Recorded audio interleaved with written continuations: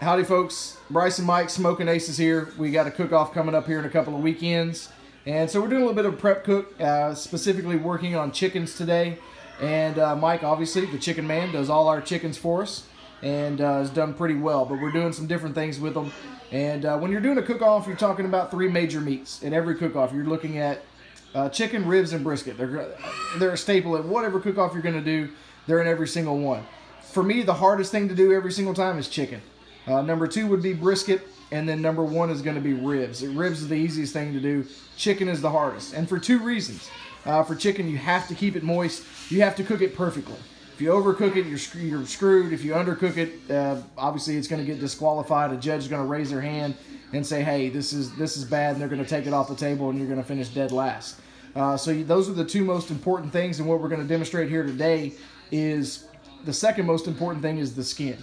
Uh, the judges all are going to have a plastic fork and a plastic knife, and they're going to be cutting into it. So the skin is important. The skin has got to be crispy enough that you can cut right through it and not have the skin pull all the way off. If your skin's too rubbery, when you go to cut it, it's just going to pull all the way off.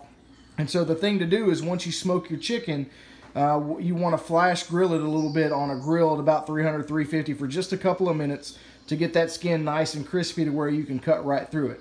And so what Mike's going to demonstrate now, he's got his knife and his fork. Uh, excuse us, we did run out of plastic plastic knives, but this is as close to what we can get of a plastic knife as we can.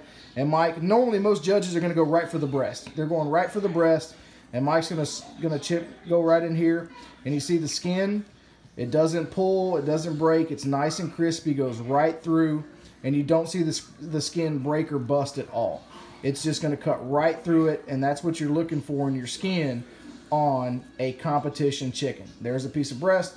He gets one bite of that, and they're going to score it off of that. But that is exactly what you're looking for in your skin on a chicken.